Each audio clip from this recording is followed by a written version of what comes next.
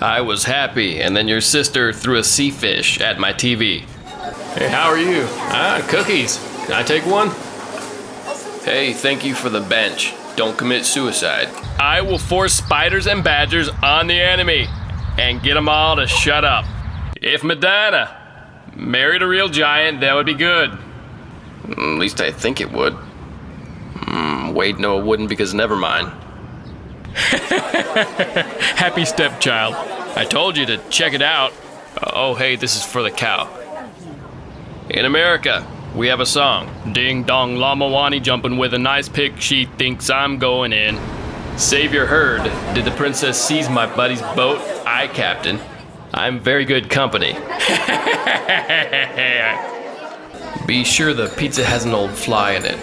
I didn't spend money on robotic things. Uh, I, I spend money on video games. We'd play Pole Position. It'd go beep. We'd go fast around the track. Man, it was a good game. Because if Madonna had a wooden statue, she just gobbled that sardine. We got Winona Ryder out there pissing off people with a guitar. They're a bunch of punks. Now you got me whispering to a freak who thinks that fish have menstrual cycles. I'm freezing out here. Gotta get away. Hey, Amy left your party, and I'm leaving at three to pick apples. Are you a math dork? Had pork chops and beans and put it in the freezer and uh, it rotted after a month. Yo mama's pudgy. Face it. I said, son, I don't want to hear you say bad about your mama.